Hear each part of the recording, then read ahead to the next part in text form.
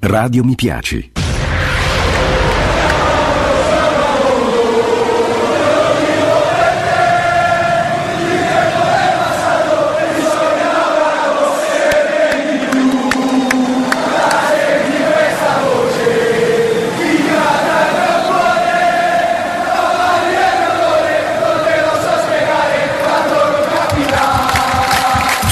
Tanto non capirai.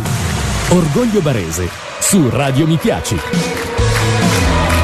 Tifosi del Bari, buongiorno e benvenuti a questa nuova puntata di Tanto non capirai Orgoglio Barese su Radio Mi Piaci. Buon giovedì 10 maggio. Un saluto a tutti voi da Nicola Lucarelli. E allora cresce l'attesa per la partita contro il Parma, ma puntata odierna dedicata anche al passato bianco-rosso. Vi proporremo infatti l'immancabile sondaggio nostalgia, oltre ad un imperdibile intervista ad un doppio ex di questo Parma Bari. Allora partiamo subito, ma prima di iniziare vado a salutare Luca Deletteris. Buongiorno Luca.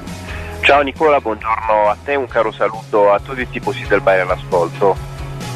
Linee aperte per i tifosi del Bari all'ascolto, contattateci per dirci la vostra o per rispondere al nostro sondaggio nostalgia di questa settimana che eh, riguarda un po' questa attesa eh, per il match contro il Parma. Tante altre volte in passato abbiamo vissuto delle vigilie, delle settimane così eh, intense che ci portavano a delle partite importanti per il futuro e per il campionato del Bari. Allora raccontatecelo, quello che vi chiediamo è proprio questo, quale partita, quale attesa per un match importante ricordate, ricordate meglio, che attivo sulla nostra pagina eh, Facebook, tanto non capirai, Orgoglio Barese su radio, mi piace un post per commentare la trasmissione con noi. E allora mi riallaccio subito al sondaggio, sondaggio nostalgia odierno di questa settimana, beh, di partite attese con tanto pathos, se vogliamo dire così, io personalmente ne ho vissute tantissime, tantissime.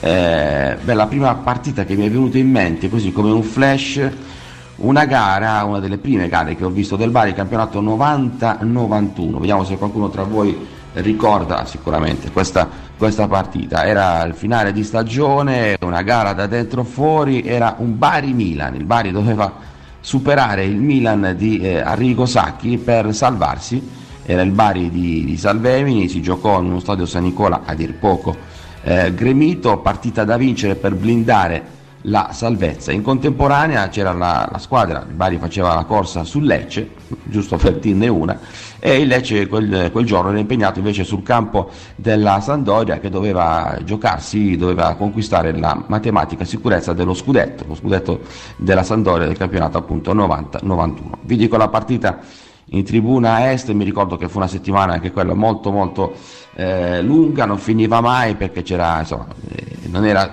roba da tutti i giorni poter battere il Milan, eh, attesa quindi spasmodica, eh, però alla fine il Bari riuscì a battere eh, il Milan, il Milan diciamo, non era il Milan di oggi o il Milan di ieri, giusto per infierire sui tifosi eh, rossoneri, era il Milan di, di Sacchi, il Milan dei grandi campioni, poi alla fine il Bari riuscì a vincere con una doppietta strepitosa di eh, Joao Paolo, mentre per il Milan andò in gol eh, Marco, Marco, Simone. Contemporaneamente a Lecce, il Lecce perse a Genova contro la Sandoria, quindi il Bari si salvò, il Milan perse lo scudetto e la Sandoria eh, vinse il tricolore. In Serie B andarono anche Pisa, Cesena e Bologna, era un campionato mentre le retrocessioni erano quattro. Luca, dopo questo racconto, invece per te quale attesa per una partita del Bari ricordi con, eh, con piacere, se vogliamo dire così?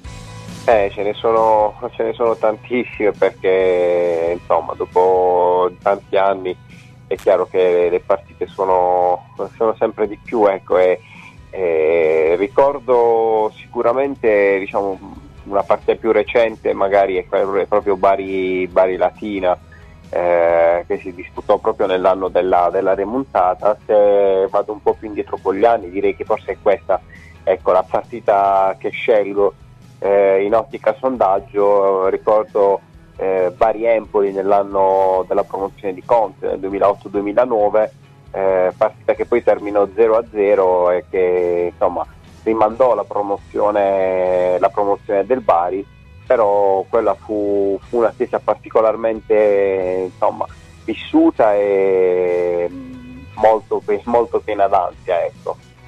Guarda, sempre del campionato di Conte stavo riferimento, ma i tifosi più attenti, i radioascoltatori più attenti avranno capito quale parlo.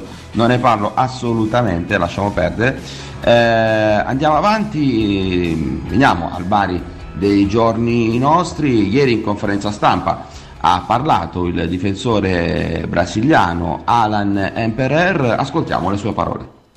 Tanto non capirai. Siamo pronti, incontriamo un avversario difficile, uno dei più forti del campionato, però siamo consapevoli della nostra forza e siamo, siamo carichi. Aspettiamo un Parma arrabbiato che vuole, vuole vincere perché ancora può, può, andare diretto, quindi ci dobbiamo far trovare pronto, pronti, sarà una partita difficile però eh, ci siamo. È stato bravo mister a gestire il gruppo perché penso che ha giocato tutti, la forza del Bari di quest'anno è il gruppo e si vede, non è il singolo, è il gruppo, chi entra fa bene, chi ha giocato ha fatto bene. E il mister è stato, è stato bravo in questo, a gestire il gruppo e lanciare nel momento giusto ogni giocatore. Ora sto io sono arrivato a Bari che venivo da un infortunio pesanti e non avevo partite nelle gambe e il mister è stato bravo a gestire questa situazione, mi ha dato spazio piano piano, è normale quando uno gioca prendi continuità, ritmo partita, è solo, dobbiamo solo crescere con il ritmo partita, è difficile entrare in forma se non giochi, quindi è stato bravo il mister a gestire questa cosa insieme allo staff e sono contento di quello che ho fatto finora. Tende al mister a trovare la formazione giusta. Io gioco sia a 3 che a 4, per me è indifferente, l'importante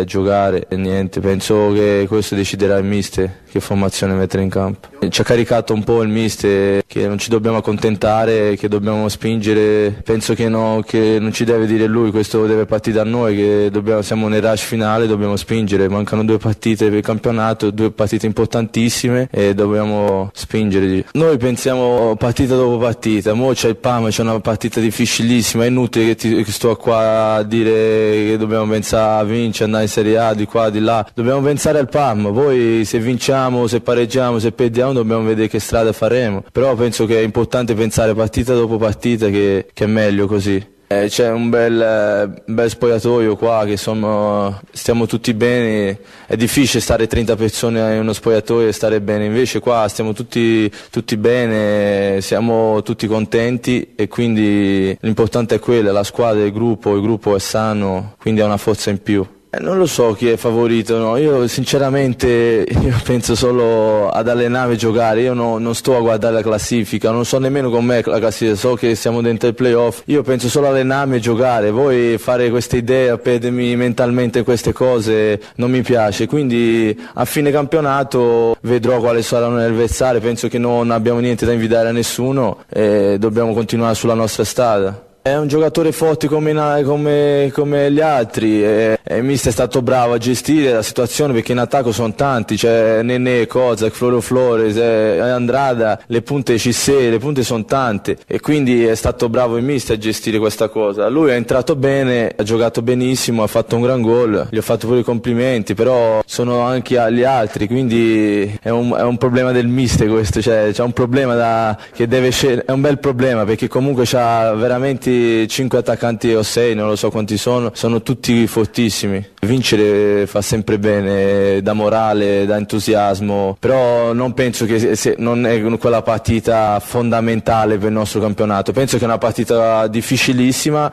che dobbiamo affrontare da noi massimo e dobbiamo una, andare a fare una bella partita, giocarcela, poi vedremo come andrà. Eh, sì, penso che Bari sia la piazza ideale, io sto benissimo a Bari, eh, sono molto contento di quello che ho fatto finora eh, mi trovi un gruppo fortissimo, eh, sto bene qua, ora penso a finire bene la, la stagione qua e poi vedremo cosa succederà, però comunque mi piacerebbe molto continuare il percorso qua al bar. Radio mi piaci.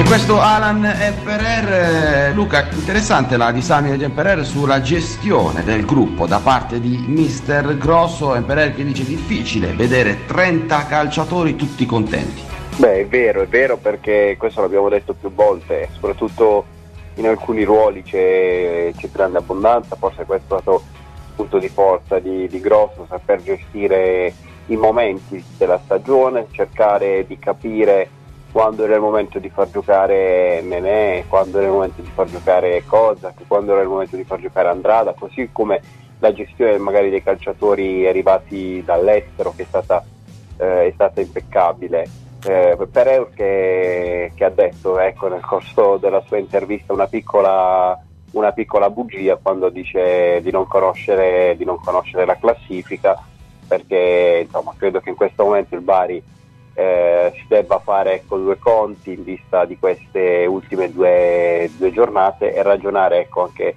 guardando a quello che succede agli altri campi.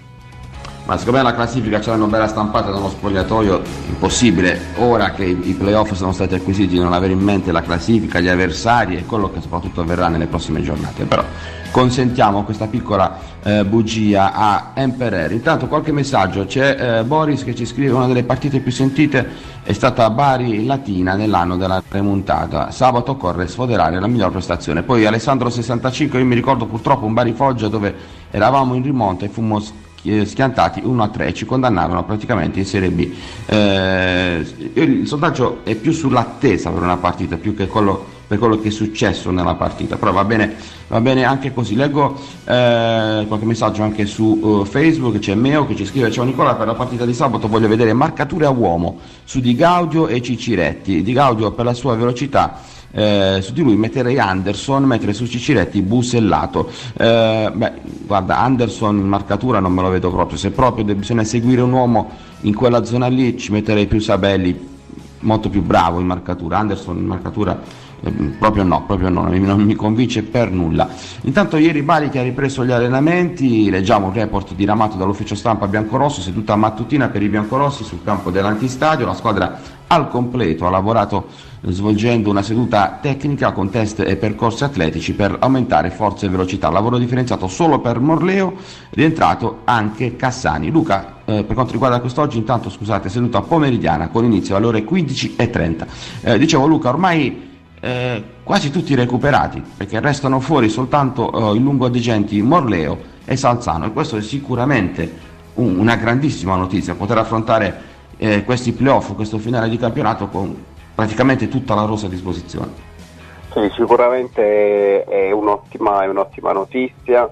Direi che anche da questo punto di vista c'è stata grande attenzione nel gestire situazioni delicate come quelle di, di, Floro, di Floro Flores e Brienza, perché magari in momenti in cui comunque non era il caso di, di forzare sono stati lasciati a riposo, penso soprattutto a Brienza che magari qualche settimana si era anche allenato con il gruppo, però è stato secondo me ben gestito e credo che soprattutto loro due siano stati ecco, i due calciatori su cui è stato fatto un certo tipo di lavoro per insomma, fare in modo che arrivassero in questo periodo del campionato con eh, ecco, il massimo delle energie a disposizione, eh, energie fisiche e mentali, ma soprattutto fisiche, ecco, perché poi dal punto di vista mentale comunque sono due calciatori eh, di grande livello, abituati a giocare da tanti anni a calcio, quindi penso che da quel punto di vista ecco, non abbiano nessun tipo di problema.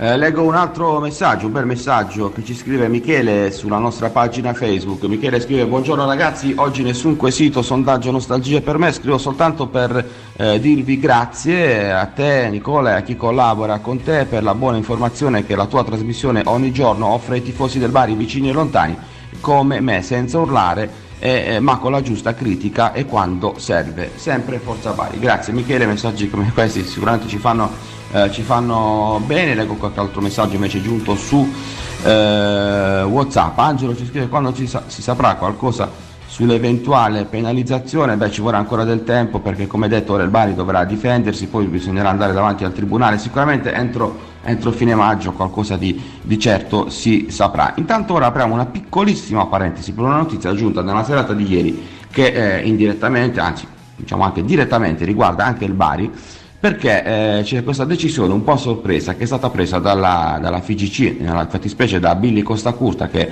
è attualmente il subcommissario della Federazione Italiana Gioco Calcio, eh, Costa Curta che ad un'intervista alla, al giornale, alla rivista, rivista 11, ha, ha, dichiarato che anche in Italia arriveranno le seconde squadre per i club di Serie A, un po' come avviene ad esempio in, eh, in Spagna. In pratica le squadre primavera giocheranno in eh, Lega Pro occupando i posti delle società che non si iscriveranno. tutti, saranno tutti under 21 più due fuori quota under 23. Luca, ci sarebbe da fare una trasmissione intera su questo, però brevemente cosa ne pensi?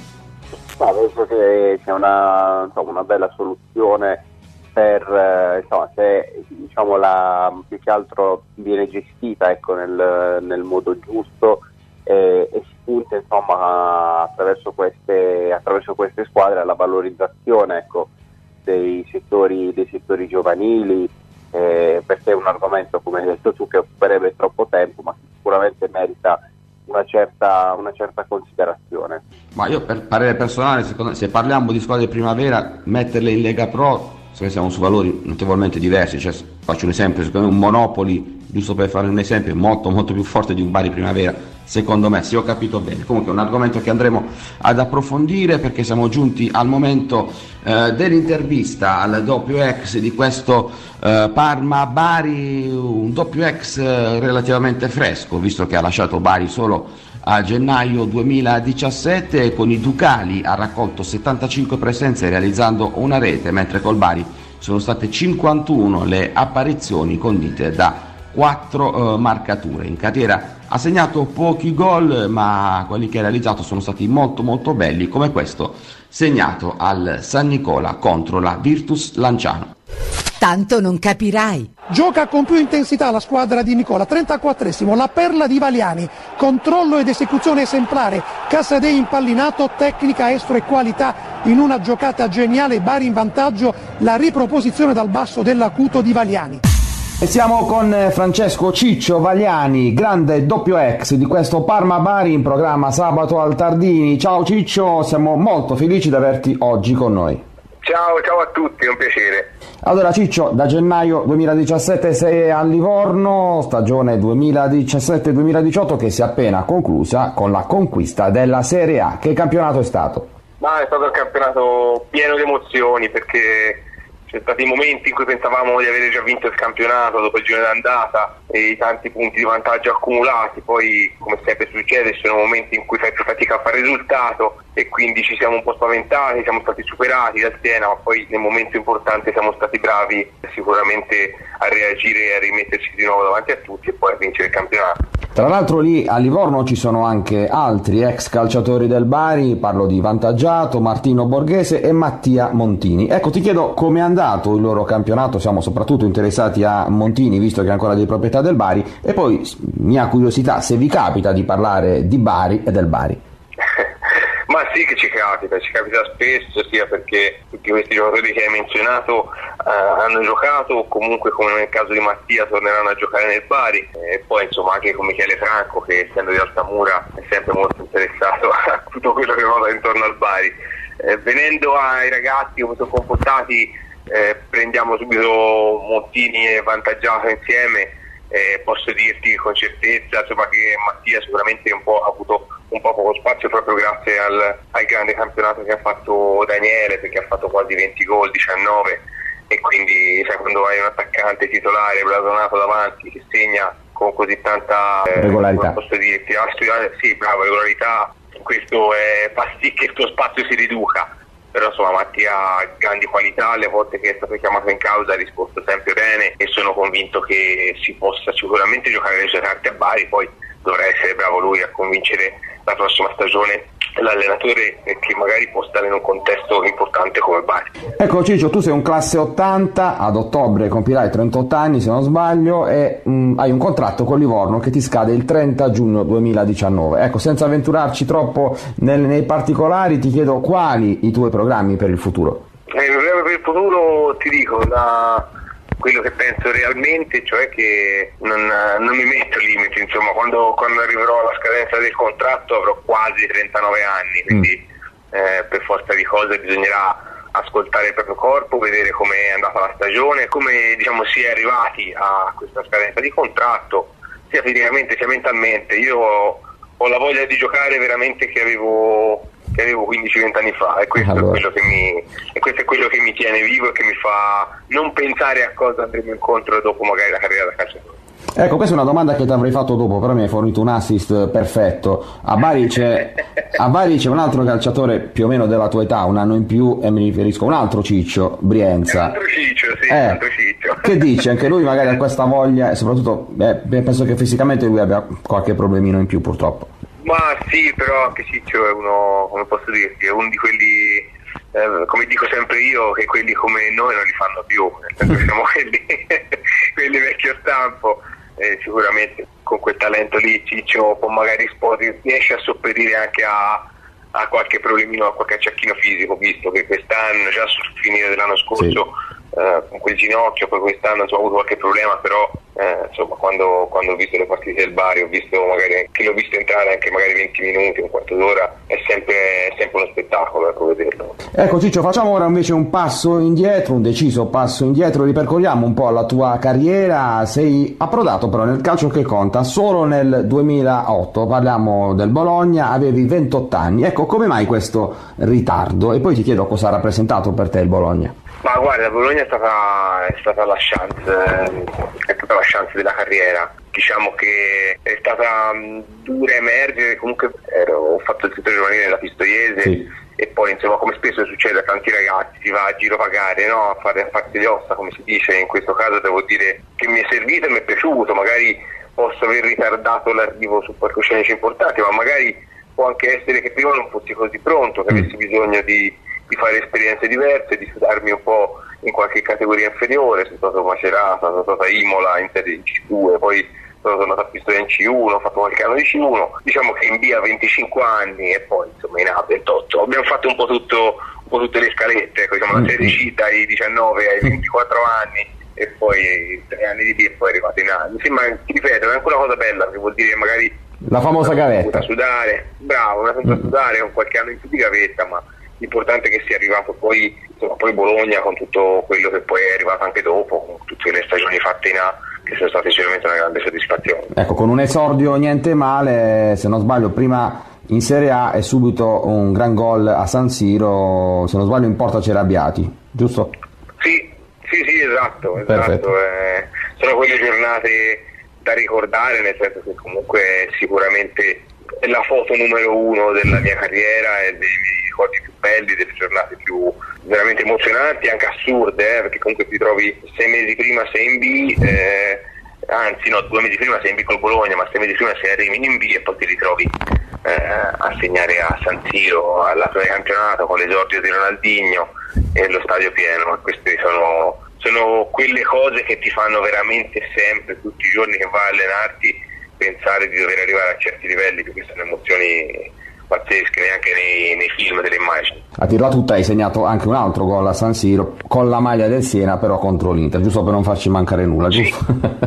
Sì, è vero, sì, sì, tra l'altro la fortuna poi spesso sono cose che spesso non succedono, eh, di magari di fare due gol a San Siro e tutte e due hanno coinciso con due vittorie. Sì. A volte magari si segna ma si prende una barca di gol in quegli stati lì, invece in questo caso sono stati due gol da tre punti e quindi belli, belli, si ricordano anche molto più volentieri. Dopo i due anni al Bologna, l'approdo al Parma, Parma prossimo avversario del Bari, che esperienza fu quella emiliana, anche quella positiva direi. Sì, sicuramente, che Parma è una parentesi, una parentesi di, quelle, di quelle stupende dove poi si era creato anche un gruppo proprio molto solido anche a livello umano tra di noi, tra noi ragazzi, era diventata un po' anche la nostra forza, eravamo veramente un bel gruppo ben cimentato e è stato, ti ripeto, è stato un grosso, sono stato molto combattuto eh, quando poi sono passato da, da Parma a Siena perché era duro abbandonare eh, anche se magari di là prolungavo il contratto, sì, eh, tutte cose eh, che comunque una carriera contano, però quello che avevamo,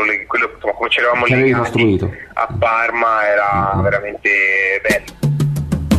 Molto più di una semplice autocarrozzeria, Fratelli Alberga è un vero punto di riferimento, dinamico e polifunzionale, con una vasta gamma di interventi per risolvere con tempestività e precisione tutte le necessità in fatto di carrozzeria e autoriparazione, meccanica leggera, elettrauto, revisione auto, soccorso stradale, igienizzazione abitacolo, verniciatura e specializzati nella riparazione di vetture grandinate. Gestione sinistri con consulenza e disbrigo pratiche, convenzionati con le maggiori compagnie assicurative assicuratrici, preventivi dettagliati e gratuiti, relativamente al servizio richiesto con tutte le voci di costo, inclusi pezzi di ricambio e manodopera. L'autocarrozzeria dei fratelli Alberga non è solo officina, ma anche rivendita di auto nuove ed usate e ti offre consulenza per l'acquisto di un'auto sia nuova che usata a prezzi competitivi e servizio chiavi in mano. Autocarrozzeria Fratelli Alberga, autorizzata Fiat, a Binetto, via Macchia del Bosco. Telefono 080 62 2014. Tanto non capirai. E dopo poi le esperienze, appunto, come hai detto, a Siena e a Latina, ecco il Bari, stagione 2015-2016, campionato che vide sulla panchina dei biancorossi prima Davide Nicola, poi Andrea Camplone. Quali le emozioni di quella tua prima, importante ovviamente, stagione in biancorosso? Ma guarda, emozione, emozione incredibile quell'anno lì, a parte già la prima partita con lo Spezia che fu una partita assurda, in 10 del primo tempo, ribaltata due o tre volte, vinta 4-3 in 10 contro 11. Quindi fu una partita già, già quello ci fece, ci fece un po' capire come sarebbe andata la stagione, no? che poi si concluse male con il playoff con Lovara, che fu una partita molto simile a quella allo Spezia, però questa volta eh, il, 4, il 4-3 mm. per gli altri. No, la, quella stagione lì fu un po' a due facce perché io, io mi ero integrato molto bene, mi trovavo anche molto bene con Davide, Nicola, con, si stava creando un bel, un bel entusiasmo e un, secondo me un bel mix per poter rimanere attaccato a quelle due squadre che, che comandavano che erano Cagliari e Crotone, mm. eh, però eh, un pochino staccati, però sempre lì pronti. Eh. Fecero bene ad esonerare Nicola? Ora si può dire, sono passati tanti eh, anni. No, no, guarda, infatti stiamo arrivando proprio lì. Secondo mm. me, ma col senno di poi io non, non nascosi anche, insomma, lo dissi, lo dissi chiaramente anche al Presidente, che secondo me era stato, cioè sul momento eh, dissi, secondo me era un errore sicuramente esonerare Davide Nicola, poi questo col senno di poi ti dico che sicuramente dopo abbiamo avuto campione che eh, ci ha dimostrato con il lavoro tutto di essere un allenatore altrettanto bravo e altrettanto preparato. Eh, sai com'è nelle, nelle, squadre quando cambia, quando hai scossoni, cose, eh, che altro in un momento in cui secondo me la maggior parte della squadra aveva grande fiducia in Davide Nicola. Forse lì non siamo stati bravi neanche noi a reagire bene al cambio di panchina, perché comunque, ti ripeto, per me non fu giusto, ma non è certo collegato a Campione che è un allenatore che forse tra i... Iniziò anche bene, iniziò anche bene. Eh, ecco Ciccio, tu hai fatto parte anche del primo Bari targato uh, Gian Caspro, hai vissuto da vicino anche le vicende societarie che portarono il Bari molto vicino ad un nuovo fallimento, per fortuna evitato. Ecco, come vivesti quel periodo e poi ti chiedo come lo visse la squadra, perché eh, sicuramente non erano cose che vi aspettavate. Ma di sicuro, ti ripeto, c'era, c'era già un po', un po', di scetticismo col tormentone dato, eh, mm. tormentone dato già ci, ci trovò un po' sorpresi, un po' increduli, c'era chi giustamente, come spesso succede in questi momenti, eh, dice no ma perché non dobbiamo crederci, anzi magari può essere veramente la svolta, c'era chi era più scettico. Eh, non ci fece bene secondo me tutto il gran trambusto eh, con Paparesta e Dato non ci fece bene neanche in previsione playoff. Però eh, questo col senno di poi. E l'era Giancasco l'ho vissuta per sei mesi. Mm-hmm. eh, io tieni conto che sono uno che cerca sempre di fare il suo lavoro non sono uno di quelli che va magari a cercare di sapere cose, mm. bim bum bam. Quindi grossi particolari non li so so soltanto che per quello che ho letto, insomma, certo. ho sentito un po' dall'interno che sicuramente Giancaspo mise una bella pezza in una situazione abbastanza compromessa e penso che, che su questo Bari, Bari, debba sicuramente, se le cose sono andate veramente così come io credo, penso che Bari debba essere da questo punto di vista molto riconoscente a Giancaspo, perché sennò forse si sarebbe vissuto un fallimento 2.0 nel giro di pochi anni. Eh, e magari non sarebbe neanche stato modo di poter fare un fallimento ragionato o pilotato come si dice come è successo qualche anno fa. Eh, Ciccio, poi a gennaio il trasferimento a Livorno, ti chiedo se fu una scelta condivisa un po' da tutti, io ricordo che eh, molti tifosi biancorossi, anzi tutti i tifosi biancorossi non la presero affatto bene perché ti volevano e ti vogliono ancora molto molto bene. No, guarda, intanto eh, il bene è reciproco ma proprio a, a, a livelli molto alti perché Bari forse eh, abbiamo parlato di tante squadre, però credo che la piazza, eh, non faccio torti a nessuno dicendo che la piazza dove ho respirato veramente la sensazione di essere un calciatore proprio amato, eh, come posso dirti, considerato in giro per la città, quello che ho sentito a Bari non l'ho provato in nessuna città dove sono stato da quel punto di vista, perché il calore, quello che insomma, tutte le persone che incroci ti possano riconoscere, ti possano dare una pacca sulla spalla, ti possano dire eh, qualcosa, ma ti stai nel bene e nel male, eh, ti fa sentire sicuramente parte integrante della città e, e, ti, e, ti, dà quella responsabilità e quel calore che ti serve. Sul fatto di essere andato via a gennaio, sì. una, io e Studiano, eh, devo dire la verità, abbiamo sempre avuto un, un ottimo rapporto, quindi fu un, un, una scelta dettata da una richiesta mia dove io ero in scadenza a giugno, avevo volontà di prolungare, un anno più di contratto, ma insomma l'anagrafe diciamo che non giocava a mio favore su, questo, su questa mm. possibilità, quindi, quindi avevo, avevo, un'offerta dal Pisa, una da Livorno e poi eh, insomma, ne parlavo al direttore, il direttore giustamente mi disse ehm, le parole che è giusto dire in quei momenti, cioè che durante una stagione, a metà stagione, che non stava neanche andando troppo bene, tra l'altro, trovarsi a parlare di un rinnovo ragazzi di 37-38 anni non era, non era ecco, il, come posso dirti, in quel momento non era la cosa più importante, ma io al posto di Sogliano avrei ragionato allo stesso modo, eh, ci sbagliamo, quindi in maniera molto corretta eh, si trovò la soluzione. Ecco. Eh, Ciccio, venendo al calcio giocato, come abbiamo, come abbiamo detto prima, sabato sfida importantissima tra Parma e Bari, che partita sarà? Chi vedi favorito? E poi ti faccio una domanda imbarazzante, per chi farà il tifo?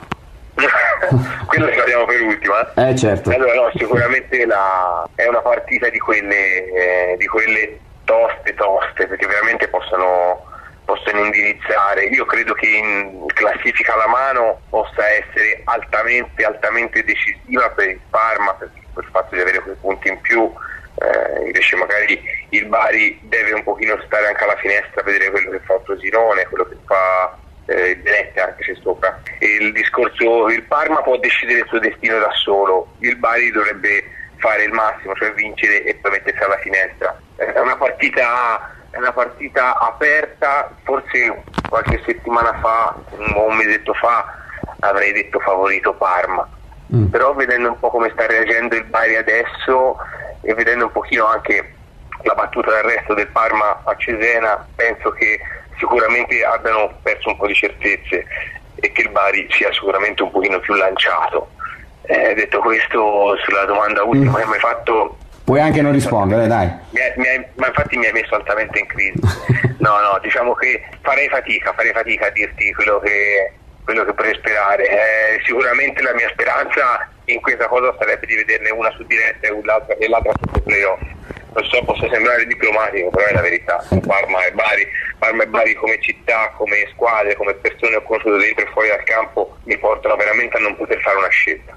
Infine Ciccio, ultimissima, tornando ai tifosi biancorossi, come vorresti salutarli? Magari non hai avuto l'opportunità di farlo quando sei andato via e poi magari, come sto chiedendo anche a qualche tuo ex compagno, magari un saluto in dialetto barese se te lo ricordi ancora.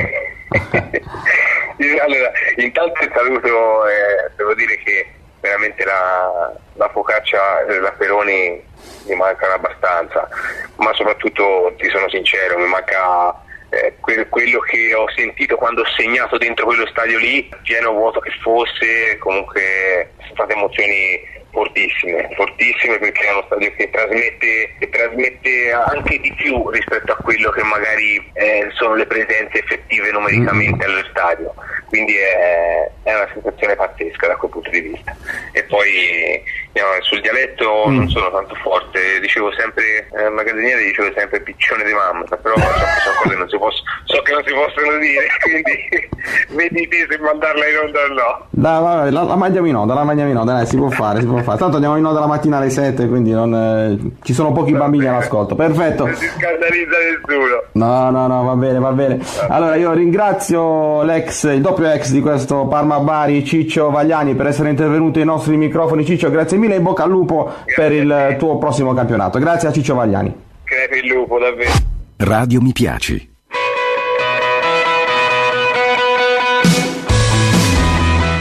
E allora, simpaticissimo Ciccio Vagliani, che insomma, oltre che un bravo giocatore, una gran bella persona. Luca, ti aspettavi un epilogo del genere di questa intervista con questa parolina detta da Ciccio Vagliani?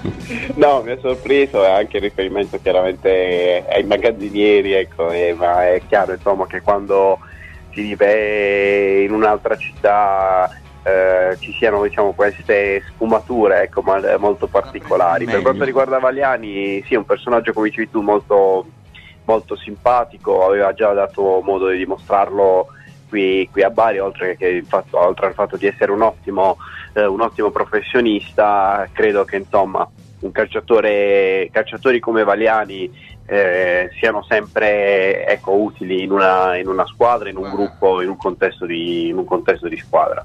Eh, Bagliani ci ha detto così tante cose che anche qui potremmo fare una puntata solo per commentare le, eh, le cose dette da Bagliani, veramente tantissime. Innanzitutto eh, l'esonero di Nicola, lui ha detto chiaramente che era, eh, insomma, non ha mai gradito quella scelta. Eh, poi per la prima volta un calciatore che si espone su questioni societarie ha detto chiaramente che la questione, il tormentone da Topa Paresta danneggiò la squadra in quel periodo e poi eh, Bagliani riconoscente, dice Bari deve essere riconoscente verso Giancastro perché ci ha messo una bella pezza, altrimenti Bari sarebbe fallito nuovamente.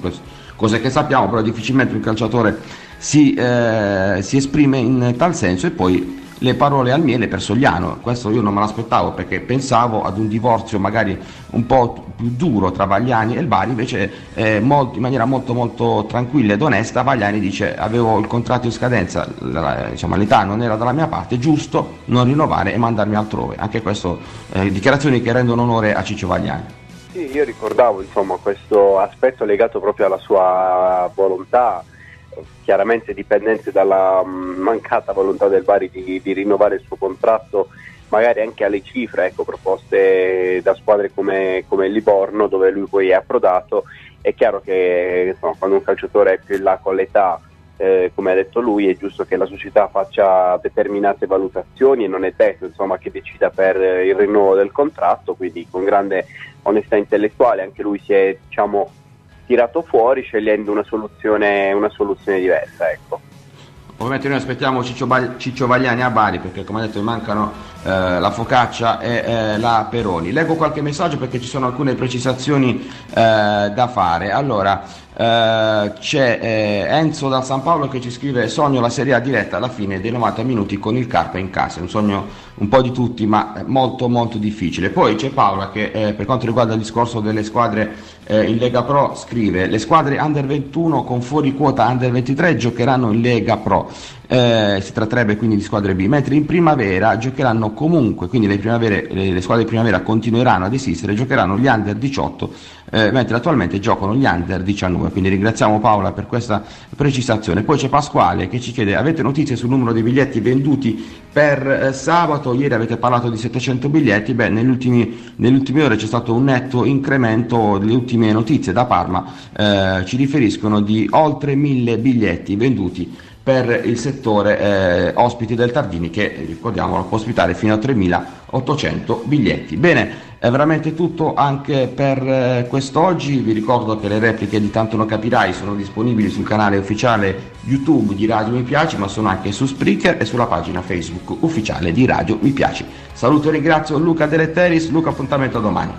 Ciao Nicola, grazie, grazie a te, un saluto a tutti i tifosi del Bari a domani per una nuova puntata di Tanto non capirai. Ringrazio Fabio Scorcia in regia e tutti voi per averci seguito, tanto non capirai, torna quindi domani qui su Radio Mi Piaci con una nuova puntata. Forza Bari e ciao da Nicola Lucarelli.